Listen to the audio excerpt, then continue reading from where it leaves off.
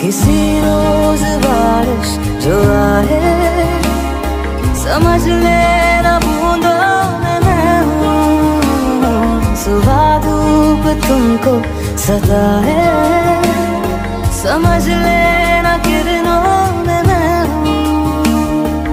कुछ कहूँ या ना कहूँ, तुम मुझको सदा सुनते रहना।